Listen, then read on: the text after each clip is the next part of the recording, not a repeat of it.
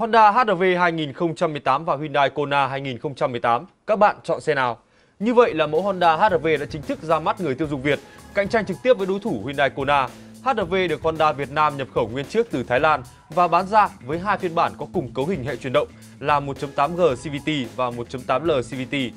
Còn Kona được Hyundai thành công lắp ráp trong nước và bán ra với 3 phiên bản 2.0 AT tiêu chuẩn, 2.0 AT đặc biệt và 1.6 AT turbo. Trong chương trình này, chúng ta sẽ cùng so sánh hai phiên bản là Hyundai Kona 2.0 AT đặc biệt và Honda HR-V 1.8L CVT. Với bảng thông số kỹ thuật đang hiển thị, chúng ta có thể thấy Honda HR-V nhỉnh hơn ở chiều dài và chiều cao nhưng lại kém một chút về chiều rộng so với Hyundai Kona. Hai xe đều sử dụng cấu hình dẫn động cầu trước và Kona trang bị 3 chế độ lái còn HR-V có chế độ lái tiết kiệm nhiên liệu khá hiệu quả của Honda. Cả hai mẫu xe sở hữu thiết kế ngoại thất bắt mắt và công nghệ đèn pha full LED. Đây được xem là lợi thế so với các đối thủ trong cuộc phân khúc. Honda HR-V được trang bị bộ la răng 17 inch, còn Hyundai Kona sở hữu bộ la răng 18 inch.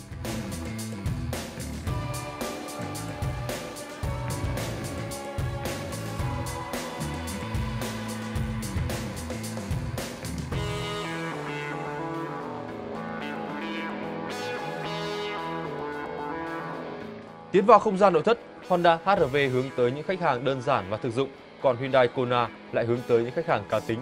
Trang bị cửa sổ trời toàn cảnh panorama là một điểm cộng dành cho Honda HR-V.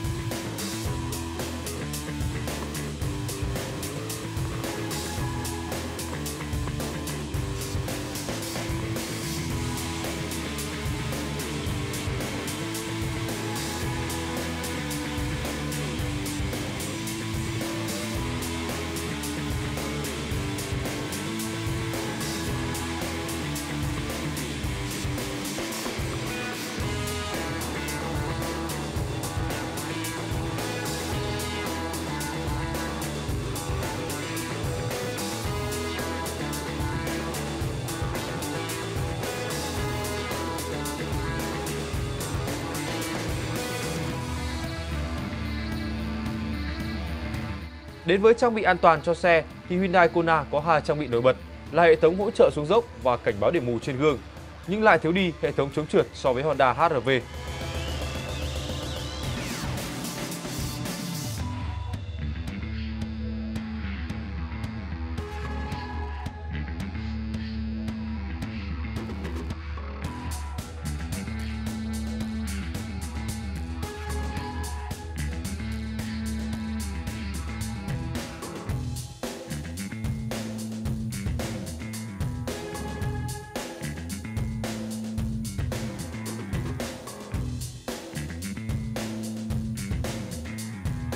Hyundai Kona 2018 nhiều lựa chọn màu sắc trẻ trung, trắng, đỏ, xanh, đen hoặc bạc, phù hợp với khách hàng trẻ năng động, chế độ bảo hành 3 năm hoặc 100.000 km.